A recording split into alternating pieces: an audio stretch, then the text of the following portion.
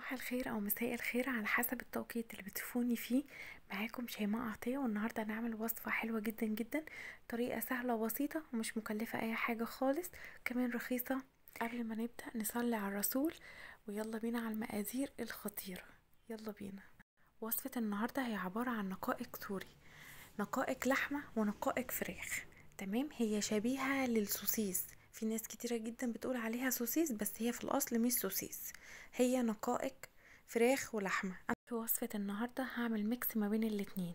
يلا بينا على المقادير. معايا نص كيلو مشكل من النقائق. معايا طماطم متقطعة قطع صغيرة معايا فلفل حامي وممكن فلفل ألوان. معايا بصل شرايح كده. معايا سبع بهارات مكعب مرق ملح فلفل أسود وشطة اختياري مش إجباري. هنا بقى جبت الجريل بتاعي أو صينية أو wok على حسب المتوفر عندك. معلقة ومعلقتين كده كبار من الزيت أهم حاجة الزيت يكون أبيض وما يكونش ليه ريحة. وأسيبه يسخن كده شوية. وأول ما الجريل يسخن معايا بالشكل اللي أنتوا شايفينه ده أبدأ أنزل بال mix النقائق معايا. اللي هو نقائق اللحمة ونقائق الفراخ. تمام؟ وهدي تشويحة كده بسيطة. حد هيقولي بنعمل لحمة وفراخ مع بعض؟ جربوها مش هتخسروا حاجة.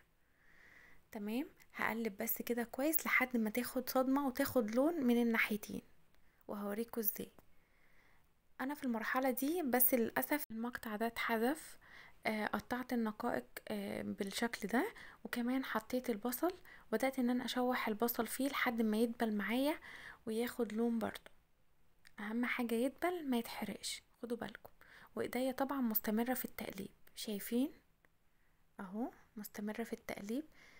طبعا البصل ده ممكن تقطعوه جوليان ممكن تقطعوه قطع صغيرة برضو التقطيع على حسب ما أنتوا بتحبوا على حسب ما أنتوا بتفضلوا في الأكل. تمام؟ أهو. آه ممكن تسيبوا النقائق تسيبوها آه سليمة وممكن تقطعوها حلقات أو مكعبات أو قطع صغيرة أو نصين. أنا هنا في الحتة دي قطعتها نصين وفي حتت صغيرة مقطعة.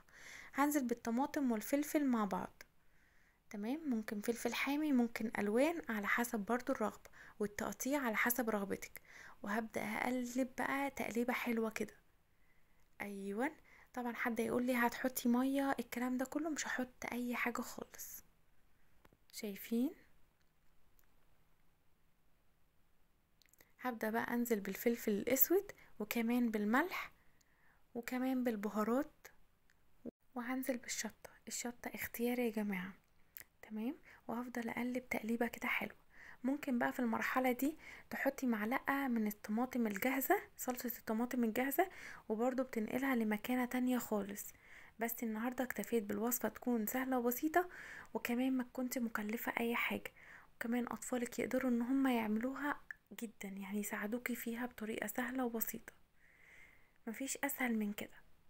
أهو بقلبها بقى بشوحها تشويحتين كده بصوت بحيث إن البصل والطماطم والفلفل وكل حاجة تتجانس من بعضها وكمان تاخد من من طعم الميكس النقائق النهاردة وهتبقى بالشكل ده. وكده استوت معايا وجهزت ويلا بينا نقدمها ونشوف شكلها عامل إزاي. شايفين؟ شكلها خطير شكلها حلو جدا جدا. كمان لو عندك بقدونس كده جرنشيها بقدونس تحفة. طبعا تيجي بقى تقدميها ممكن في ناس تاكلها جنب مكرونة في ناس تاكلها جنب بطاطس صوابع وكمان في ناس تاكلها جنب رز أبيض أو رز بسمتي. أو سلطات على حسب الرغبة أو على حسب المتوفر عندك.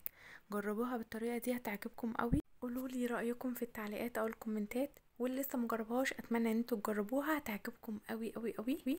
وده طبعا كان الفيديو معايا النهاردة. أتمنى الفيديو يكون سهل وبسيط. ويكون طريقة شرح كويسة. قبل ما أختم معاكم like و share ومشاركات كتيرة قوي قوي قوي وشجعوني عشان ننزل وصفات أكتر وأكتر. شوفوا اشوفكم بخير. والسلام عليكم ورحمة الله وبركاته. اللهم صل وسلم وبارك على سيدنا محمد وعلى آله وصحبه أجمعين يا رب العالمين. شوفوا اشوفكم بخير و bye bye.